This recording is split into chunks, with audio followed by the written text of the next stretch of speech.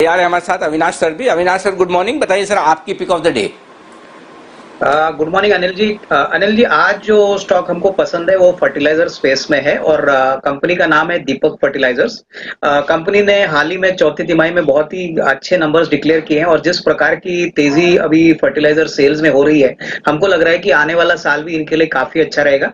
In fact इनके पास एक speciality chemical portfolio भी है तो हमको लग रहा है कि करंट लेवल से डेफिनेटली एक इन्वेस्टमेंट पिक के पॉइंट ऑफ़ व्यू से खरीदा जा सकता है। साल भर में करीबन 145 150 का नियर टर्म का टारगेट टारगेट बनता है और इसको अपने पोर्टफोलियो में ज़रूर इंक्लूड करना चाहिए। नॉट ओनली कंपनी की अर्निंग्स बट जिस प्रकार का एक्सपेंशन इन्होंने लगाया है, इसका पूरा इंपैक्ट आपको एफ़ आई में देखने को मिलेगा। तो ये एक अच्छी इन्वेस्टमेंट पिक करंट लेवल्स पे हमारी साइड से।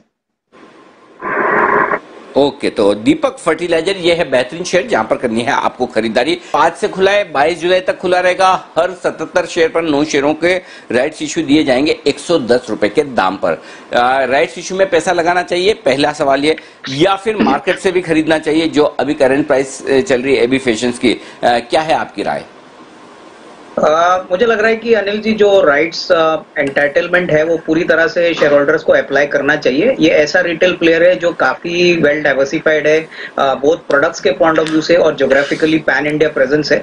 हमको लग रहा है कि मार्केट से तो डेफिनेटली अभी शेयर एक्स राइट चल रहा है बट जो राइट्स की एंटाइटलमेंट है उसे ना छोड़िए। हमको लग रहा है कि कम से कम आने वाले छह से बारह महीने के बाद होपफुली रिटेल में और अच्छा यू नो मोमेंटम देखने को मिलेगा।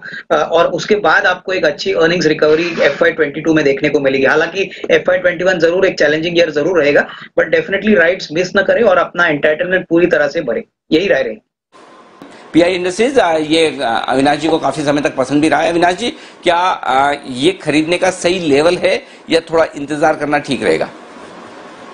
नहीं, अनिल जी, मुझे लग रहा है कि आने वाला साल पीआई इंडस्ट्रीज़ के लिए बहुत ही शानदार होने की एक्सपेक्टेशन रहेगी। बहुत एग्रोकेमिकल्स एज वेल एज जो इनका जो क्रैम बिज़नेस है, यहाँ पे काफ़ी अच्छी ऑर्डर बुक है।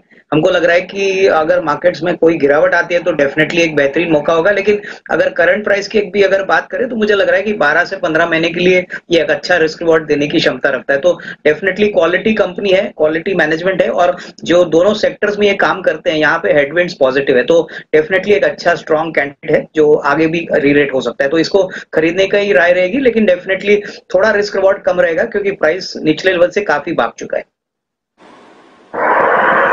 ओके आ, ये है आपके लिए राय पी आई एन में थोड़ा सा इंतज़ार कर ले। निचले लेवल पर खरीदेंगे तो ज़्यादा बढ़िया है। अविनाश जी एक स्टॉक जिसके बारे में मैं आपसे पूछना चाहूँगा जिस तरह से एक्शन बिल्डअप हम होते हुए भी देख रहे हैं। क्या व्यू बना रहे हैं सर जहाँ तक डायग्नोस्टिक स्टॉक्स का सवाल है? क्योंकि आज खबर आई है कि महाराष्ट्र में रेस्ट्रिक्शंस हटा दिए गए हैं। कोई भी जाकर अपना टेस्ट करवा सकता है। कोरोना के लिए डॉक्टर प्रिस्क्रिप्शन की ज़रूरत नहीं है। प्री एग्जिस्टिंग सिम्टम्स की भी ज़रूरत नहीं है। थोड़े वॉल्यूम्स बढ़ते हुए दिखेंगे, जहाँ तक इस टेस्ट का सवाल है। वैसे तो प्राइस कैप है, पर क्या एक पॉजिटिव हो सकता है डायग्नोस्टिक स्टॉक्स के लिए?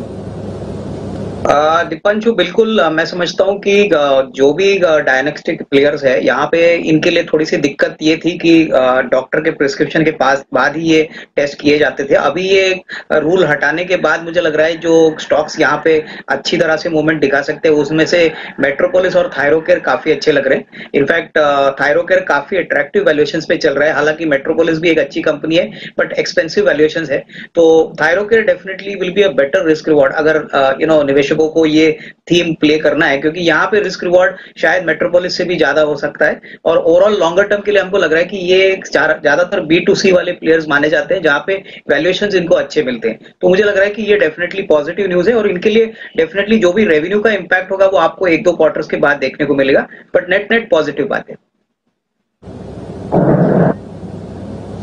ओके बताएँ सर अनिल जी ये स्टॉक आप ही ने सुबह बताया था। कंपनी का नाम है मिश्र धातु निगम। इनफैक्ट कंपनी ने कल कंपनी के कॉन्फ्रेंस कॉल अटेंड की थी। और कॉन्फ्रेंस कॉल में अनिल जी बहुत ही कॉन्फिडेंट कमेंट्री मैनेजमेंट से आई है। कंपनी के पास करीबन 1400 करोड़ का ऑर्डर बुक है। कंपनी एक स्पेशलाइज प्लेयर है जो डिफेंस और स्पेस को केटर करती है।